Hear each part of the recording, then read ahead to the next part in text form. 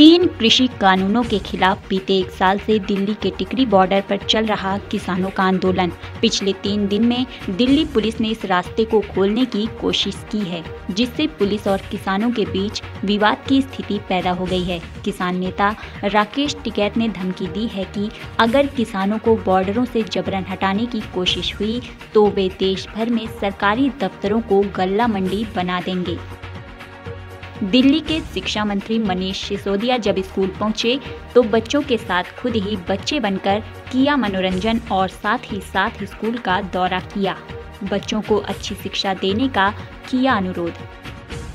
नोएडा में त्रिदिवसीय virtual Amity international moot court प्रतियोगिता संपन्न। दिल्ली और इलाहाबाद हाई कोर्ट के न्यायाधीशों ने दिया सफलता का मंत्र। इस प्रतियोगिता में देश विदेश के 100 से अधिक विधि संस्थानों और विश्वविद्यालयों के छात्रों ने हिस्सा लिया। नई दिल्ली में सत्य प्रकाश उर्फ़ सत्य गैंग का गुर्गा और पचास हज़ार रुपए के इनामी समीर को किया गया गिरफ़्तार। गौतम बुद्ध नगर में पेपर आउट कराने वाले सॉल्वर गैंग के 10 सदस्य गिरफ़्तार। कब्जे से नौ लाख पंद्रह हज़ार रुपए, दो चेक, दो दो लाख रुपए, दो कार, चौदह मोबाइल फ़ोन, विभिन्न परीक्षा से संबंधित 28 एडमिट कार्ड आदि बरामद। थाना सेक्टर अठावन नोएडा पुलिस ने की गिरफ्तारी।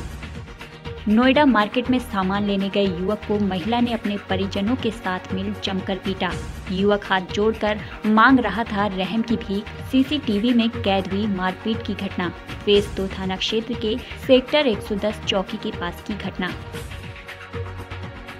ग्रेटर नोएडा में एंट्री करने को लेकर सिक्योरिटी गार्ड के साथ मारपीट। सिक्योरिटी गार्ड के साथ जमकर की गई हाथापाई। हाथापाई हुई सीसीटीवी कैमरे में कैद सूरजपुर थाना क्षेत्र के एस प्लेटिनम सोसाइटी का मामला। नई दिल्ली में दिवाली से पहले धनतेरस पर ही प्रदूषण बढ़ने लगा है। सुबह आठ बजे एक यूएल 305 रहा। नई दिल्ली के द्वारका में एनकाउंटर स्पेशल स्टाफ की टीम पर बदमाश ने की फायरिंग। एक पुलिसकर्मी को गोली लगी बुलेट प्रूफ जैकेट की वजह से जान बची। जवाबी कार्रवाई में बदमाश के पैर में लगी गोली। बदमाश रोहित चिट्टा जख्मी होने पर भाग न सका, शिकंजे में फंसा।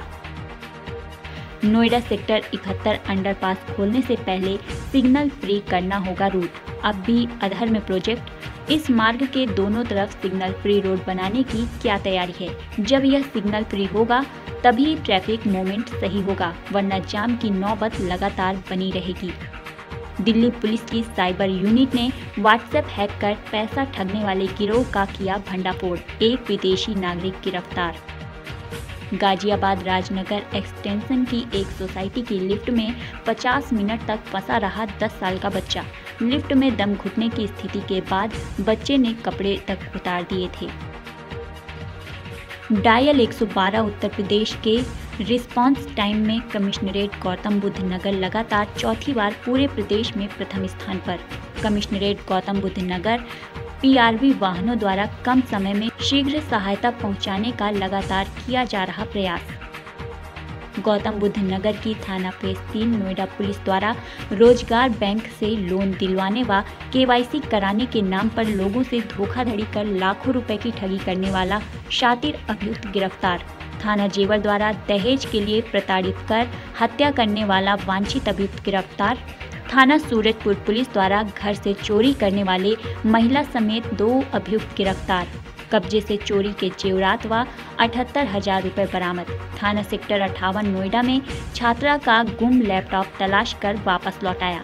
लैपटॉप वापस करने वाले ऑटो चालक को किया गया पुरस्कृत।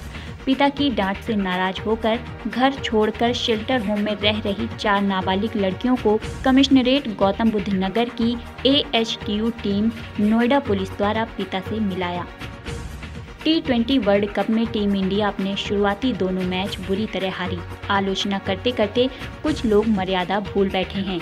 दिल्ली महिला आयोग की प्रमुख स्वाति मालीवाल के अनुसार उनकी नज़र में कुछ ऐसे ट्वीट्स आए हैं जिनमें विराट की नौ महीने की बेटी से बलात्कार की धमकियाँ दी गईं। मालीवाल ने दिल्ली पुलिस की साइबर क्राइम ब्रांच को पत्र लिखकर कार्रवाई की मांग की है। नई दिल्ली में कनाट प्लेस के D ten OnePlus store से दिल्ली पुलिस ने एक शख्स को हिरासत में लिया। बताया जा रहा है कि इस शख्स ने शोरूम में घुसकर यह कहा कि मेरे पास बम है। सुल्तानपुर और अमेठी की सबसे पहले और सबसे तेज